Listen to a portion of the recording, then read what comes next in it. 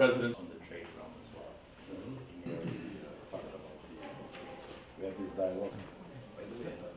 تطرقنا إلى العديد من المسائل ال- في التعاون الثنائي آه، في جميع المجالات آه، في العلاقات المهمة والتي نكن لها أهمية كبيرة آه، مع الولايات المتحدة الأمريكية وهو شريك كبير كما تعرفون بالطبع ال- نتمنى أن أن هذه العلاقة سوف آه، تكبر في المستقبل إن شاء الله.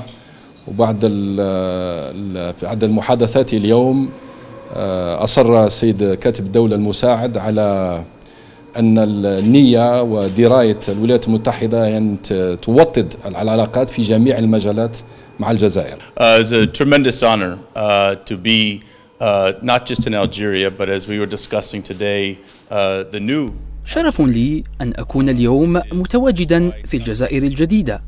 ولهذا أنا هنا رفقة العديد من زملائي لبحث سبل العمل مع الجزائر الجديدة ضمن إطار الشراكة على غرار قطاع الصناعة.